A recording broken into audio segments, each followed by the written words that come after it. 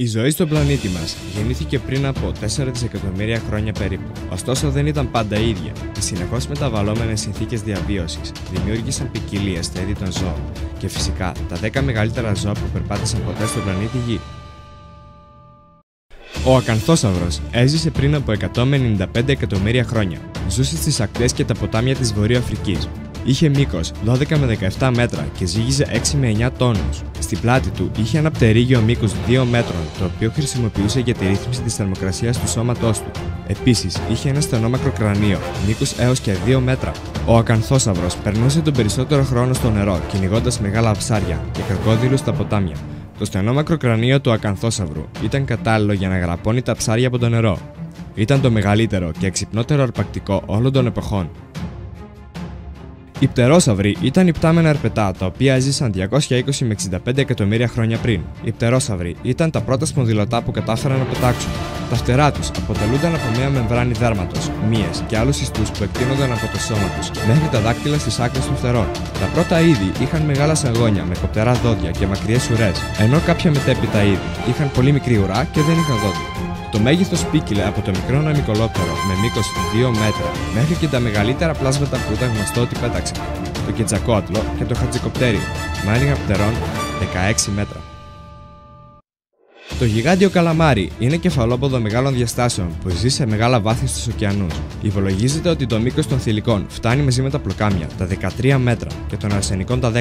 Μόνο το κολοσιαίο καλαμάρι, το οποίο μπορεί να φτάσει σε μήκος τα 14 μέτρα, είναι μεγαλύτερο. Ο μανδύας του έχει μήκος 2 μέτρα. Παρά το μεγάλο μέγεθός του, το γιγάντιο καλαμάρι είναι ένα από τα μεγαλύτερα ζώα που έχουν παρατηρηθεί λιγότερο.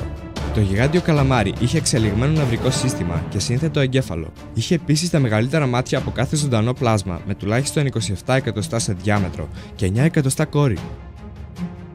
Είναι γιγάντια λιβελούλα, με άνοιγμα φτερών 120 εκατοστά. Τα περισσότερα από τα ευρήματα είναι μόνο θράσματα των φτερών και μόνο λίγα είναι τα πολυθώματα που βρέθηκαν διατηρημένα. Η μεγανεύρα ήταν ένα αργό αρπακτικό, με δύο ζεύγη δυνατών φτερών, ισχυρά σαγόνια, δαγκάνες, δύο πανοραμικά μάτια και δυνατά πόδια. Ήταν σαν ένα ελικόπτερο, αλλά ελαφρώς μικρότερο σε μέγεθος. Περιπολούσε ανάμεσα στα κλαδιά των δέντρων και έπιανε τα πρόσεκτα έντομα. Ο γιγαντοπίθηκος έζησε πριν από 9 με 6 εκατομμύρια χρόνια στη σημερινή περιοχή της Κίνας. Σύμφωνα με τα απολυθώματα των δοντιών του, ο γιγαντοπίθηκος έπρεπε να είχε ύψος τουλάχιστον 3 ή ακόμη και 4 μέτρων και ζύγιζε 300 με 550 κιλά, δηλαδή ήταν ο μεγαλύτερος πίθηκος που υπήρξε ποτέ. Από τα άκρα και το σκελετό του μπορούμε να συμπεράνουμε πως αυτά τα τεράστια πλάσματα μάλλον έμοιαζαν με το σύγχρονο γορίλα και περπατούσαν στα τέσσερα. Παρά το όνομα, την εμφάνιση και τον βαρύ τίτλο Ο Δεινόσαυρος των Ωκεανών, ο Βασιλόσαυρος δεν ήταν ερπετό, αλλά είδος κήτους. Ο προϊστορικός πρόγονος της σημερινής φάλαινα έφτανε τα 15 με 25 μέτρα μήκος και ήταν αναμφίβολα ό,τι πιο γλυκό έχει γνωρίσει ποτέ η γη. Δεν διέθετε μεγάλο εγκέφαλο με αποτέλεσμα να ήταν λίγο χαδιάρης. Είμαστε όμως στα προϊστορικά χρόνια και η ηλία του ήταν πιθανότητα εξίσου πίσω σε όρους εγκεφαλικής ανάπτυξης. Οπότε όλα μια χαρά. Η γαλάζια φάλαινα με μήκος που φτάνει τα 30 μέτρα και βάρος 190 τόνου ή και περισσότερο. Είναι ένα από τα μεγαλύτερα γνωστά ζώα που έχουν υπάρξει ποτέ. Όταν αναπνέει, η φάλαινα εκπέμπει μια θεματική κάθετη μονή στήλη έως 12 μέτρα ψηλά. Η χωρητικότητα των πνευμόνων της είναι 5.000 λίτρα. Η γλώσσα μιας γαλάζιας φάλαινας ζυγίζει περίπου 2,7 τόνους.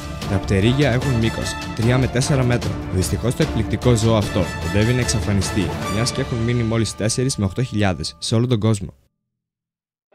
Το αρθρόπλευρο μπορούσε να φτάσει τα 2,5 μέτρα στο μήκος. Ήταν το μεγαλύτερο χερσαίο σπόνδυλο όλων των εποχών. Είχε πλατή σώμα που αποτελούνταν από 30 τμήματα και 30 ζεύγη ποδιών. Τα σαγόνια του αρθρόπλευρου δεν βρέθηκαν, αλλά χωρίς αμφιβολία ήταν ισχυρά. Εξαιτίας αυτού το αρθρόπλευρο θεωρούνταν αρπακτικό. Στη συνέχεια όμως, η γύρι που βρέθηκε στο στομάχι του αποκάλυψε ότι το αρθρόπλευρο ήταν φυτοφάγο. Τα δυνατά σαγόνια τα είχαν για να φοβήσουν τα αρπακτικά.